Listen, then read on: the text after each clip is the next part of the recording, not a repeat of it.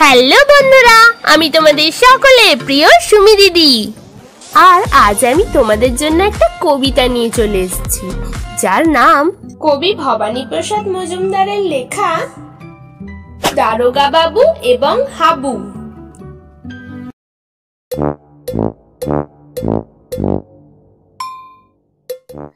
থানায় গিয়ে সেদিন ভোরে বললে কেঁদেই হাবু।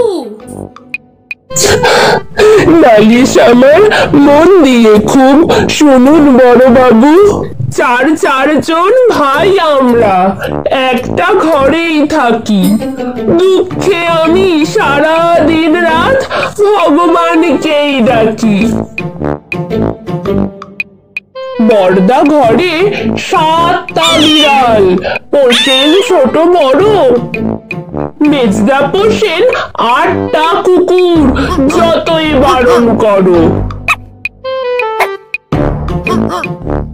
শেষদা পাগল দশটা ছাগল।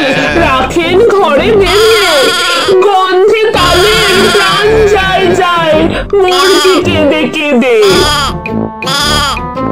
দারোগা বাবু বললে হাবু তোমরা কি সব ভুলো? সদাই খুলে রাখবে ঘরের জানলা দরজাগুলো। শুনেই হাবু বেজায় কাবু বললে করুন সুরে। দেড়শো পোষা পায়রা আমার যাবেই যে সব উড়ে। তাহলে বন্ধুরা ভিডিওটি তোমাদের কেমন লাগল তা কমেন্টে জানাও। আর বন্ধুদের সাথে শেয়ার করতে ভুলো না। আর ভিডিওটিকে লাইক করে দিও। আর হ্যাঁ চ্যানেলটাকে সাবস্ক্রাইব করেছ তো? না করে থাকলে এক্ষুনি করে নাও। তাহলে আজকের জন্য এইটুকুই। আবার দেখা হচ্ছে নতুন ভিডিওতে বাই বাই